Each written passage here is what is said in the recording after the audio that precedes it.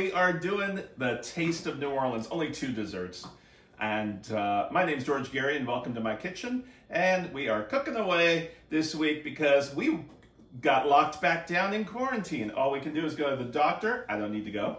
The grocery store, which I did go there today to pick up some bananas because I had bananas that I bought over the weekend that I thought were going to turn um, better, and they're still green. So you want bananas like this to start out.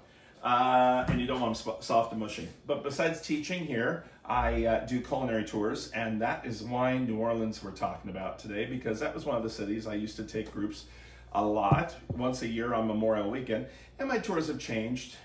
Do France instead now. New Orleans is the only city that uh, has had three uh, country flags flown over it. The French, the Spanish and American. And it's a, a, remarkable, remarkable city if you've never been to New Orleans. And not just the French Quarter drinking, there's a lot of other things. But before I keep going, let's introduce you to Neil. Neil wants to do Friday's show ahead so he can have the beverages, but this has a lot of alcohol in it. So we're going to talk about. I, I make me sound like a drunk. Well, that's the only time you come out here and, and let everybody see you. I'm not a drunk. I never drink. Only Friday. Only Friday. Honest. only only when when the, the the days of the weekends with the letter Y, right? No. So anyway, um, I also have uh, 14, 15 cookbooks. I say 14, 15 because I've got one in production that we will do a second volume right after, so that's why. And uh, that comes out in February, made in California, February, March. Uh, the other thing is, is uh, New Orleans, if you haven't been there, when you can go. Every weekend is music and food and music and food. And there is a great tour of. Um, are you unplugging this? No, your plug. Your plug was almost out. I have to watch Neil because he. Okay, so because I'm way over here this time instead of over there. What you have in New Orleans is a lot of food, and there's a great histor- historical food tour to take that I suggest everybody go on, unless you're with me on a food tour. We're doing Brennan's. Brennan's is the Brennan family that has probably 20 restaurants all over the place. Uh, Mr. B's is one, uh, the um, place called Brennan's, where they do brunch, and that is a phenomenal southern place that has cloth tablecloths and gloves on the waiters. It's just a beautiful, beautiful place to have uh, a southern brunch. And this is one of the items that they do we start out with vanilla ice cream. I made this myself. Yeah, it's like Martha. I made this ahead and I put it in uh, balls and put it in the freezer in the so it's ready to go because this is going to be hot poured on top of it. So we don't want the ice cream to melt all the way. So that's what we're doing. So now we've got butter, brown sugar, banana liqueur. I don't care what kind you get, but this is the only kind they had at the market. It's called 99 Bananas. Um, 99 brand, whatever that is. So whatever banana liqueur you can get. We've got some vanilla extract, rum, light rum, and we've got some, uh, a little bit of cinnamon. And I will torch this like they do there, just if I can. The lighting might be too bright, you won't be able to see it, but anyway. Then we have our bananas. So before you start, take your bananas and we're gonna cut them. I open them up with the peel, just like that and then I'll cut them into a few pieces. So I've cut them down half and then a few here. And just go straight through and then not through your hand. And then tink, tink, tink. You want them firm, like I said, you don't want them too green and you don't want them uh, mushy. If they're mushy, you're gonna have Bananas Foster soup. Now this was created by Mr. Brennan for a guest that a, a, local guest that would come in all the time, Mr. Foster. So that's part of our history this week, learning about where foods come from. And bananas are very prevalent there in New Orleans because that's where the boats come in. So now we're going to heat up our pan with unsalted butter and when I do a big batch of this, I use a lot of butter, and I get people looking at me like, that's a lot of butter. you're walking around in New Orleans. It's Butter hot. schmutter. It's it's Yeah. it's all good. Yeah. Well, the thing is, is it's so hot in New Orleans that you just uh, you sweat it out. Is what you do, and and you sweat everything out there. But it, it is a you wear cotton, and you don't have to. Uh, I, I say take cotton. Then you don't have to when you put it on iron it because right when you walk out the it's perfect. It's it's amazing, and uh, we go we've been to a lot of the plantations the uh, beautiful, beautiful uh, gardens in New Orleans. So we warm this up until all the butter is bubbling up. And we've got brown sugar. They use a lot of brown sugar down there. And we'll do this until this starts making a slurry. Some of the brown sugar was a little hard, come to think of it. Well, just like that.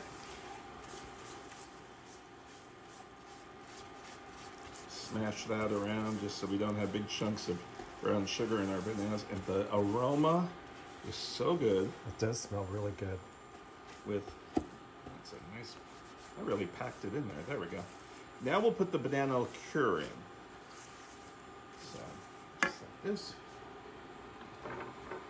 I'm just making sure I'm doing it exactly how, nope. Okay, we still got a few more minutes. We want this to go a few more minutes. I'm using a large, large skillet. Don't use a um, non-stick because you just can't see the bananas very well when you do that. And this doesn't stick. Look at all that butter. Wow. Now we're gonna take, once you put the liqueur in, this is when you worry, not worry, you watch it because that does have alcohol and this could flame up on you. So you, now you smell all the sugars That's the and banana. the banana nana because it's 99 banana. I think it's 99 proof is what they're getting at.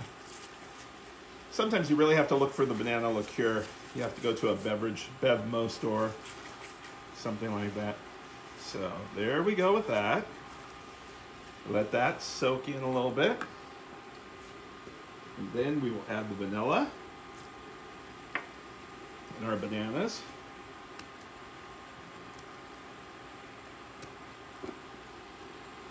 into this. And uh, a lot of restaurants do this dish tableside. I know Trader Vic's and uh, the ones that are left in the Hilton hotels do it. And um, there's a few others that do this because it is a nice presentation. And it's one of those old fashioned desserts, kind of like crepe Suzettes. So we will serve that. And we just do it until the bananas are warmed. All I have left is rum and cinnamon. See. Smash those. Does that look good? Looks excellent. Neil, Neil feels like he's in New Orleans. We were there in September last year, and we had probably, well, I posted on Instagram all of the different meals we had, and it looked like that's all you and I did was go restaurant to restaurant. But, you know, we were there, what, five days? That's 15 meals. So it's bubbling away. Now we're going to put our rum in. Neil, I'd go back a little bit just in case this. Keep my eyebrows. Yeah, I want to keep your eyebrows. And let's just see if it'll flame up, if it's hot enough. Let's see.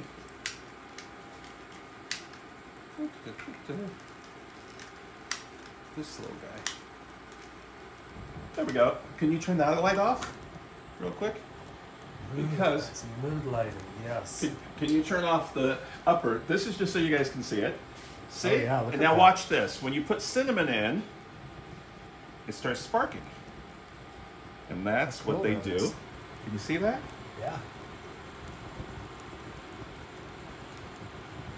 Okay. You're like a voodoo king or something. Oh, and you let that finish, and then it goes off. Alrighty, so um, you can. That's done. So we're gonna take the bananas, put some of the syrup on top, and I think it's still flaming. It might be. Sometimes it does. So you want the syrup. Now this makes four. I'm only making two. Let me get some more bananas on this one. And there they are. So there's your bananas Foster. And we'll be back to make our pralines next. We'll be right back. How'd you like the bananas Foster? Pretty good. You got to go to Brennan's and have that. It is, uh, you do breakfast at Brennan's uh, brunch and it's part of the package deal and they come to the table side normally. I don't know what's going on today. So anyway, now we're gonna make some pralines and you can go all over the French Quarter and every candy company says they make the best pralines and that they're award winning and how many award winning ones and who gave the award out, you know, but uh, there's some really good ones there. So we're gonna make some pralines, some simple batch, and um, the key to the whole thing is timing and temperature. So we have brown sugar, dark, and we have granulated sugar. And we have evaporated milk. We are going to stir that up. And did I do? Yeah, I did half a cup. I'm just looking to make sure. Yeah, okay. And then we're gonna turn this on and this will start cooking away. I use a nice wooden paddle spoon and the sugar will start dissolving. You see some chunks in there that'll start dissolving. And we're gonna stir this until it comes to a boil. And you see the granulation, the granulation will stop. I also use a rubber spatula to go around the edges just to make sure I get it all clean while I'm working with it. And we'll just do this chunks of brown sugar. Just smash those down. Then we have butter and we have vanilla pecans, and I'm using halves, halves. Then I have a large sheet of parchment paper that I will be scooping it. So what it goes, what we do is we stir this occasionally, not all the time, till it comes to a boil. Then we add the butter and the vanilla and the pecans, and we stir it just to uh, combine. Then we let it cook until it reaches 238 degrees on an instant read thermometer. Now, if I put this in, it will hit the bottom of the pan. I don't want that.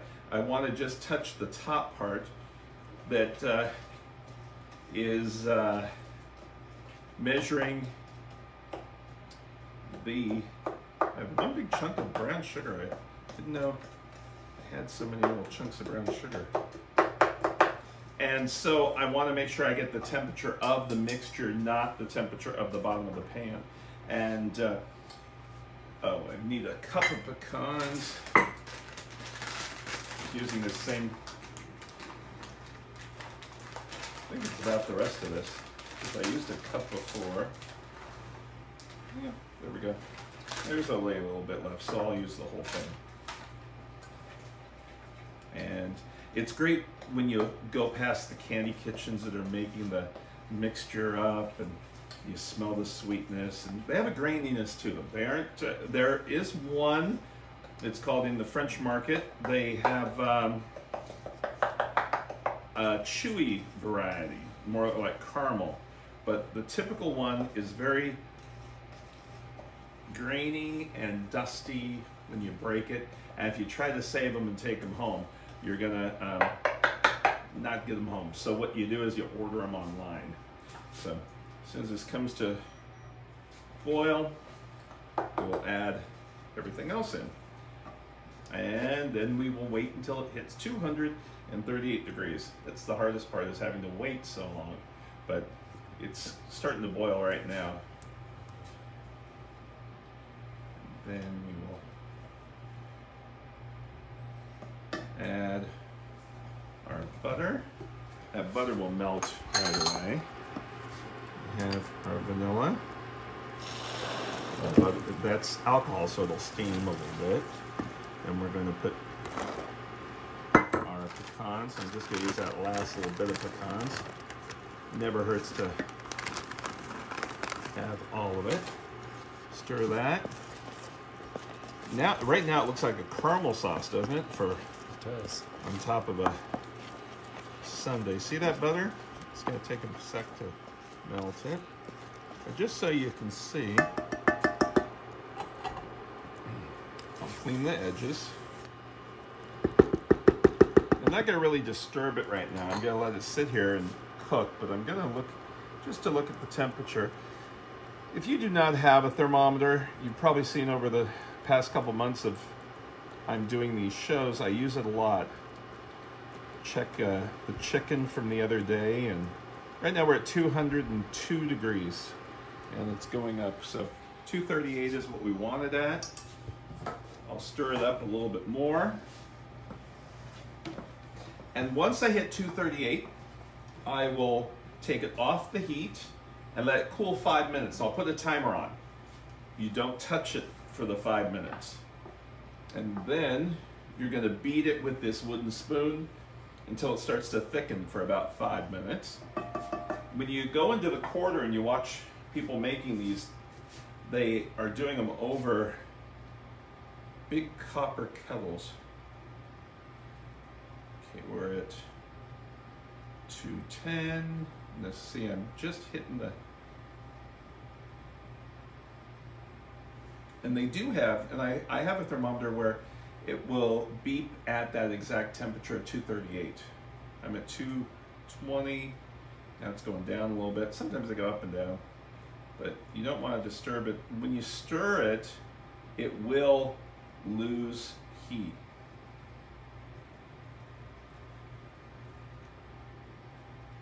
Almost at 230. Oh, the aroma smells good, doesn't it? It does smell. I'm thinking I'm in New Orleans. We were in New Orleans for uh, Labor Day. Jello shot. You didn't have any Jello shots in New Uh, Orleans. No, uh-uh. Oh. We had some good food that week. We did. We went to a nice restaurant every single night. I missed that. The dinners, Yeah. it went down to 230. I'm gonna stir it just to make sure I'm not sticking anything. Nothing sticking. We're doing good. Just to make sure it's all even. Love the aroma of sugars.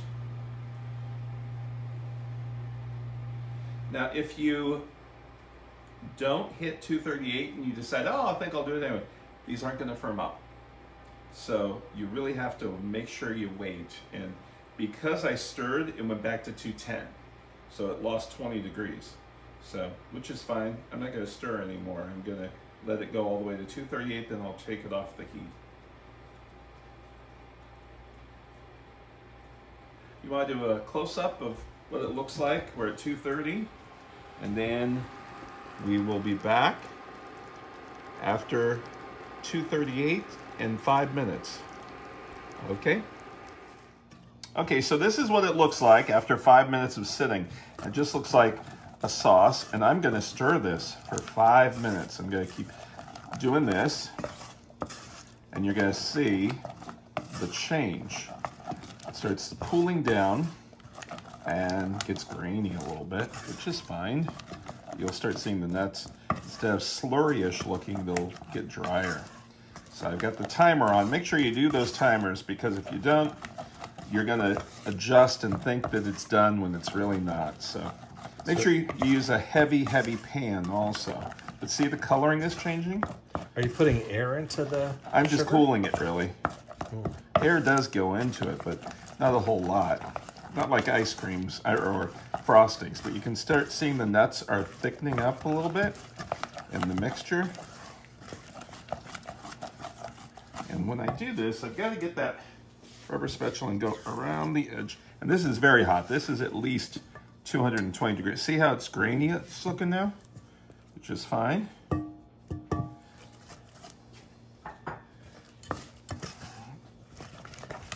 See how it's not as liquefied? Do you under, does it seem that way to you, Neil? in It the does, camera? absolutely, Okay. yeah. Okay. I thought you were waiting for the audience to respond. no, I was. You are the audience, I'm Neil. the audience. Yeah. Yep. So, just like that. See? Wow, really thick. Yep. And then I'm gonna clean this up, just making sure I get all the edges. Okay. And then I'm gonna start putting it scoops of it. These are large ones. Those are big ones. I'll go a little smaller.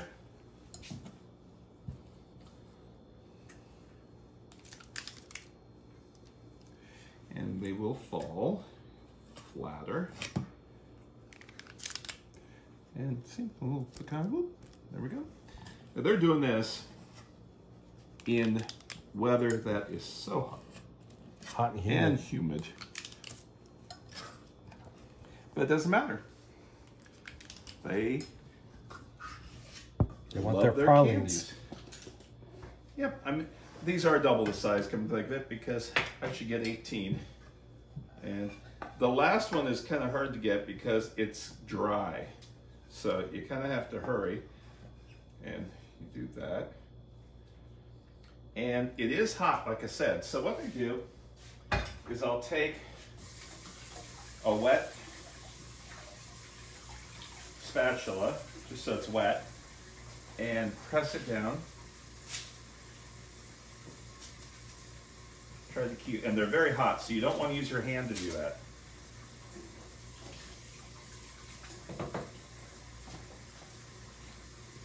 And there is our pralines.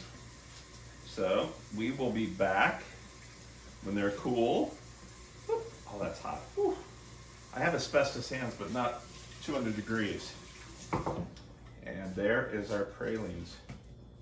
So we'll be back. See you in a minute. So, before it melts, mm, I feel like I'm in New Orleans.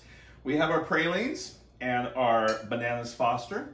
We hope to see you tomorrow when we talk about the history of brownies. We're doing two brownies tomorrow, and you won't want to mix it. Mix it.